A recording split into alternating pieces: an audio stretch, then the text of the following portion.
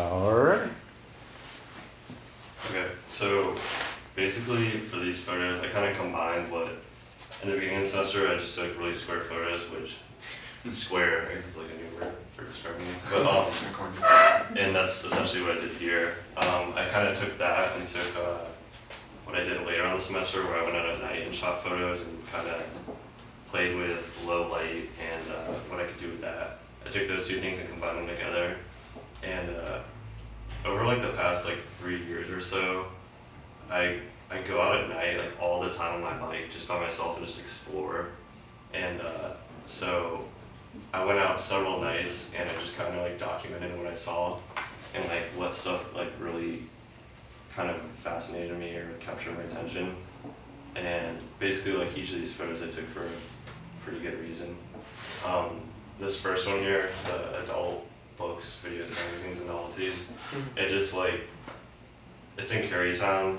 I don't know if you guys have seen it before, but I um, actually saw like a school bus parked in front of it once. I thought it was really funny.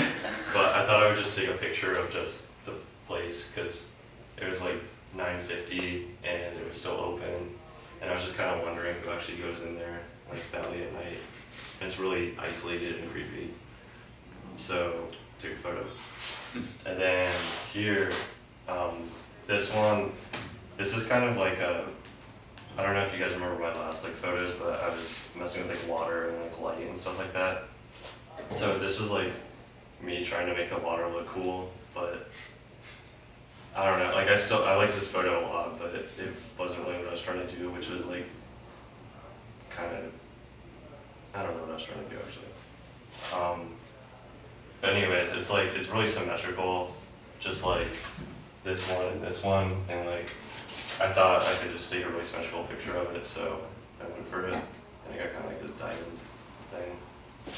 And then this bench right here, I found in some alleyway behind some like Christian school, and I jumped this fence to go take a photo of it, and I just thought it was kind of weird how this light was just shining on it by itself. And same thing for this one, there's just this random light in this alleyway shining on this red door. So, take a photo of it. And then, that one just looks cool. for good reason. Um, but yeah, as you can see, like they all like kind of have like one or two lights just kind of focusing on them. And I was seeing what I could do with that. And then,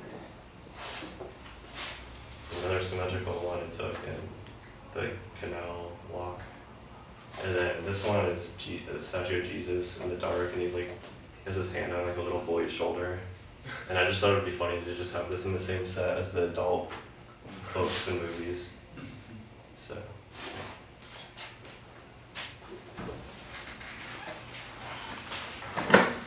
You have to let us know when you're done. Somewhat. You have to let us know when you're actually done. Okay, I'm done.